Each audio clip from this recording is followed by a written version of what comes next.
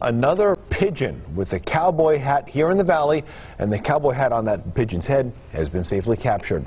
The pigeon rescue group Lofty Hopes says Billy the Pidge is now safe. They brought the bird to a veterinarian who says that hat was glued on the bird's head. There you see. Cluck Norris is the other bird saved by that rescue group earlier this week. Also, the hat was glued on. That vet had to trim the bird's feathers to take the hat off. The rescue group right now is trying to safely capture another bird, Calamity Jane. It's still not known, though, who put the hats on those birds. Mm.